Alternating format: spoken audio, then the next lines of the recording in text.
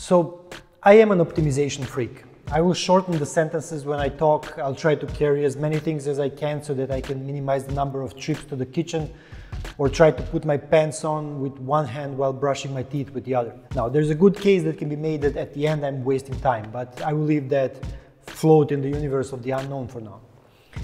When it comes to my work, I'm no different. Yes, I am one of those that listens to YouTube videos and tutorials at 1.5 speed if the purpose is to extract information from them.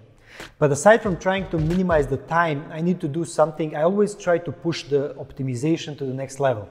Well, to the next couple of levels to be precise. Since the beginning of the computer development, we have been making our computer chips denser and denser. But what can you do when you cannot make the processors smaller anymore? You stack them and add more layers. That is how I started looking at everything I do, and I strongly believe you should too, for your benefit, but also for the benefit of the world. And here's the explanation. If you already do some work, you should at the same time show, teach, reuse, and share.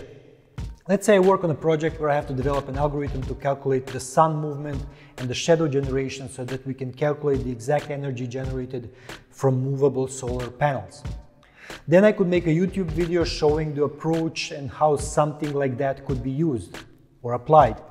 I could then integrate that into a certain course, offline uh, or online, and teach other people how to do that. Whatever I programmed, from the very first line of code, I would structure it in a way so that it can be reused.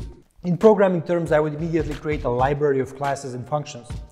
In the next similar project, I can already have uh, ready-to-use methods that can speed up the process and can make me program something much cooler and much more complex. Standing on the shoulders of giants is how the whole world functions, especially the programming world. Libraries on top of libraries, so we can even use the most complicated AI systems with just a couple of lines of code.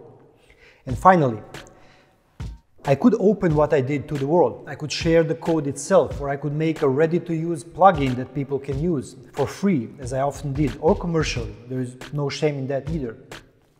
Now, one could argue that teach and show are maybe the same thing, or could easily be one same thing. And I do not care about that right now, if it is four levels or five, or if I should have somehow done seven, because that's what gets you clicks.